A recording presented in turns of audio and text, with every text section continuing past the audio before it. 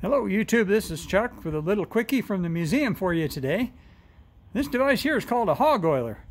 Now what would be a hog oiler you might ask?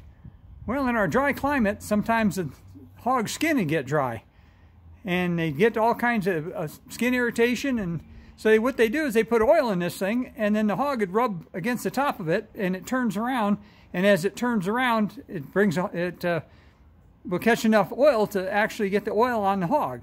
So while the hog is itching himself, he's actually re-oiling his skin at the same time.